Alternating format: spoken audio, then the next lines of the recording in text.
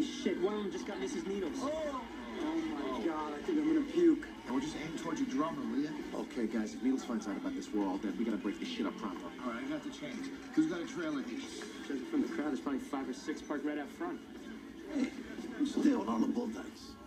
It's hot enough trying to make it with a lesbian. I don't need this goddamn competition. All right, well, we, we gotta get that blonde broad away from that one dyke over there in the corner. I can take it. Hell, I can take it right now. I'm 3 0 against dykes. And I'm not talking about the soft bitches either.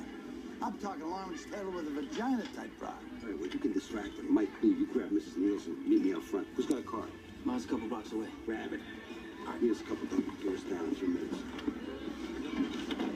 Huh? You ready? When it comes to fighting lesbos, I was born ready.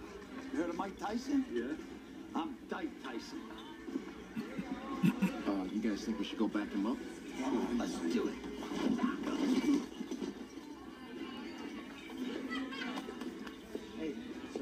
Mind if I cut in? Yeah, that's right. I know who she is. What did you just say, shithead? Oh, I'm sorry, sweetheart. I speak cock, which I know you don't understand. You shit like that, man.